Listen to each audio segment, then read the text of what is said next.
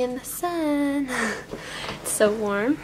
It is seriously the nicest day out ever. I'm so happy because it's been raining and cold for the past like three days. I'm going to go to the grocery store because there's some stuff that I need. So I was thinking maybe you want to come with me. I don't know. If you don't want to come with me, you can exit the video now. But if you do want to come with me, then keep watching.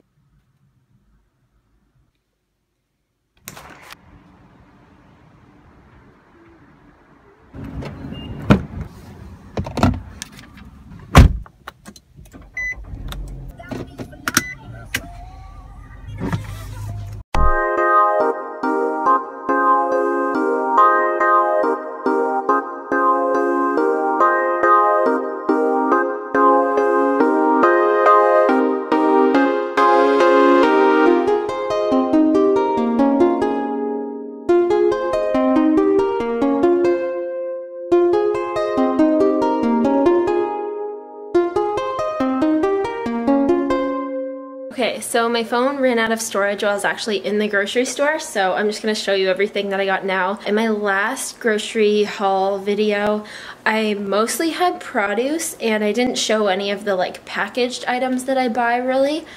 Um, and I also showed in that video how I can often get a lot of things like 50% off because they're overripe or they're like almost bad or whatever. So um, I didn't get any produce today because we just got some on the weekend and we still have a bunch of it, but I did, I got like a couple things, but I'll just go through. Just got some brown rice pasta and then some of these um, high fiber white pastas. And then I got some bulk nutritional yeast. That I got some buckwheat flour to make some new recipes.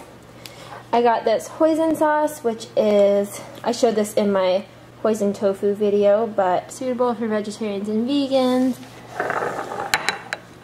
And this one also says that. So this is a chow mein stir fry sauce. I've never tried this one, but I just wanted to try it out. And then I got some plum sauce for spring rolls and stuff because we are out.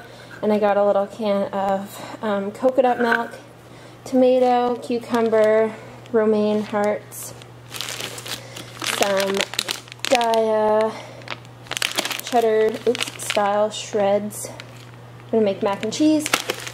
I got these udon noodles. These are my favorite. They're just like flour, water, salt. And then I got these rice stick noodles. They're like super, super thin, whereas these ones are like more wide, I guess. And then I just got my also favorite um, buckwheat soba noodles. Oh, and I don't think I showed this. I got this freaking huge ass bag of garam masala because I've been wanting to try it and that is the only size that my store had. So it was actually a good price. It wasn't super expensive at all. So I just got the whole bag. So if you guys know of any recipes that can use up some garam masala, hopefully I like the flavor of it because I've never gotten it before. Um, please leave a comment below and tell me what you do with garam masala. I'm thinking I'm just gonna make like, you know, curries and stuff, but I'll be. I can definitely do more of these like grocery haul videos if you want. It's a lot of noodles, I know. But yeah, okay, I will see you later.